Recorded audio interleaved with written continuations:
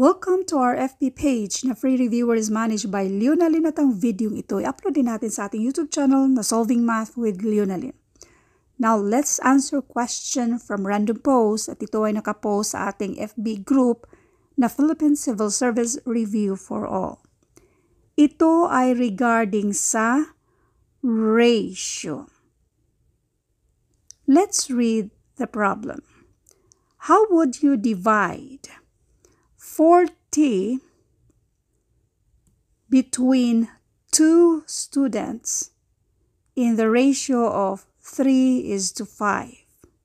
Let's do solution number 1. Itong 40 na ito, 40, i-divide natin dito sa ratio na 3 at 5. I-add natin yan siya. So, 3 plus 5.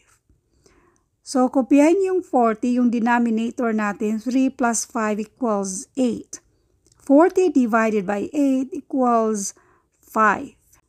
Itong 5 na ito, gamitin natin dito sa ratio na 3 is to 5. So, ito yung pang-multiply natin dito. 3 times 5 and this is 15. So, yung isa ay 15. 3 5 times 5 equals 25. Now, kung i-double check natin, 15 plus 25, ang total dito ay 40. Now, para sa tanong na how would you divide 40 pesos between two students in the ratio of 3 is to 5? Yung isa ay 15 pesos.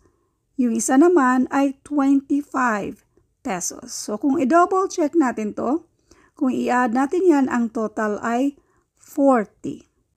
Another way of solving this, just in case lang na makalimutan nyo itong way na pag-solve natin, so meron pang isang paraan. Tawagin natin itong Kanto style way of solving. 3 is to 5. Bali, 3 kasi peso man ang pinag-usapan dito. Yung isa may 3, yung isa ay may 5.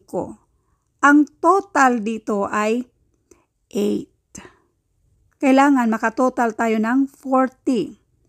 Again, yung isa na naman ay may 3. Yung isa ay may 5 grupo balinya, balian. So, sa isang grupo nito, ang total dyan ay 8. Meron na tayong dalawang 8. Kung i-add natin yan, 16 pa lang yan siya. So, may 3 na naman, may 5 na naman, isang grupo yan siya. Ang total ay 8. Kung i-add natin yan, kulang pa rin, that is 24. Tapos, isa na namang grupo sa 3 at 5, ang total dyan, kung i-add natin yan, kulang pa rin. Isa na namang grupo 3 is to 5, ang total dyan ay 8. Kung i-add natin, itong mga 8 na to 1, 2, 3, 4, 5, kung i-add natin yan, ang total ay 40. Yan yung 40 pesos. So, para masagot yung tanong na, how would you divide 40 between two students in the ratio of 3 is to 5? So, yung isa ay, ito yung i-add natin. Ilang 3 ba yan? 5 na 3. So, 15 pesos yung isa. While yung isa naman na tag 5, this is 25 pesos. Kung i-add naman natin yan, that is equal to 40.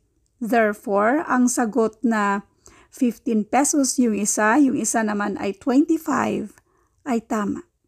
Thank you for watching and all I hope mayroon kayong naintindihan sa videong ito.